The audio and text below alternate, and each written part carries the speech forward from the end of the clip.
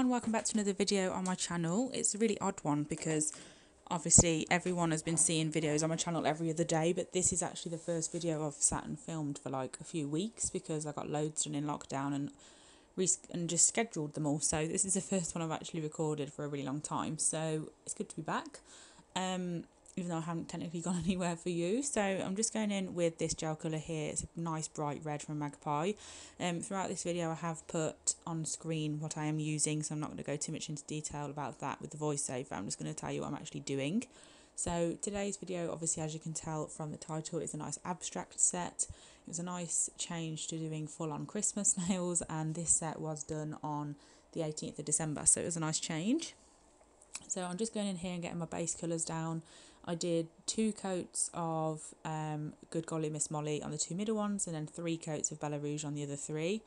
Um, just to be on the safe side, nice opaque with Bella Rouge. Um, it is a really good pigmented colour, but I am working on top of the clear Magpie full-on tips here. So obviously, as you can see, the tips of them are see-through.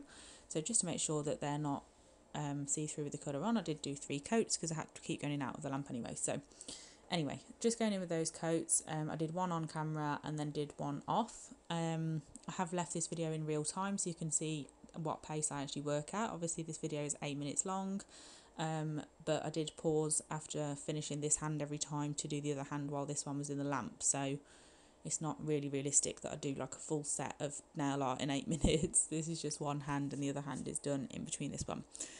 So anyway, once I've finished that um, and I've taken that out the lamp, the next step I'm going to do, obviously off camera, is just paint on the other colours, uh, the other layers, sorry.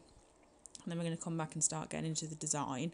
So I'm using Foil Me here. Um, I'm just going to pop this on just a bit randomly, really thin, because I don't actually want a full coverage nail. Um, this foil gel is perfect if you do want full coverage though, so there's always the option of that. Um, I have got a video on it already, so have a look at that on my channel if you haven't already and then I'm just going in with this foil. I'm just going to put it on really randomly just get some little patches because we are going to be going in with more on top of this as well. This is just a bit of a background but I do want to see that colour poking through because we both me and my client really liked this base colour. So I'm now going in with this silver gel. It's absolutely beautiful. It is Brillbird's Glamour Gel. I've now got all of them and they are all stunning um, definitely worth investing in so I'm just getting this with this really cheap brush that I got from Amazon in one of the sets um, that I've bought over time. And I have dedicated this brush to the Glamour Gels because they are so glittery. There is no chance you are getting all that glitter out of your brushes once you've used it. So I do have a couple of brushes that I only use for these gels. So obviously when I'd applied the um, the foil gel I popped it into the lamp for a minute and then I brought it out popped on the foil and then I'm just going straight on with the Glamour Gel pop that in my lamp to cure that and then coming back out and doing some black dots um, with just an everyday dotting tool, nothing special. And then once I finish doing the dots, I'll do some lines. It's just really, really simple, but really effective. Um, do go out of focus here, but I do realise pretty quickly and sort it out. So don't worry, it doesn't stay like this. I think it's now. Yeah, there we go. Suddenly noticed it was focused on something completely different. So anyway, just going to finish off those black dots, just popping them anywhere, not any in particular order or anything like that, just going in, just throwing on some dots. Um, and then, yeah, I'll move on to lines with the white. I'm using the Magpie Striper brush to do these lines. I'm just popping those anywhere and everywhere as well. Not in any particular order, just some straightish lines.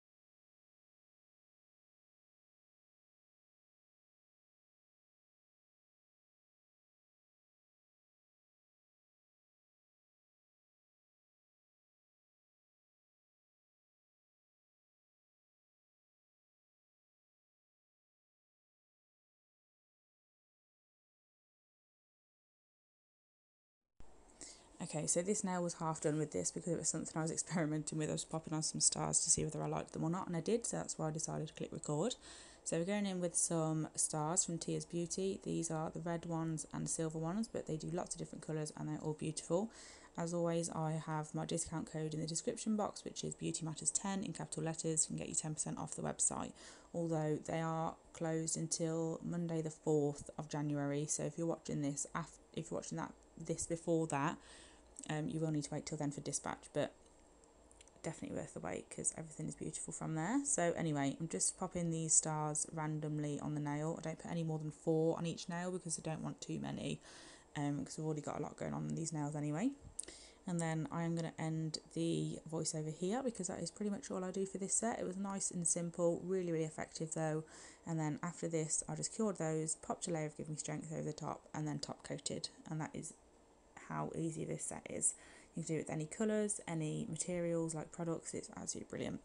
So anyway, thank you so much for watching. I hope you enjoyed this video. I definitely enjoyed filming it. So yeah, I hope you enjoyed it. Thank you so, so much and I'll be back soon. Bye!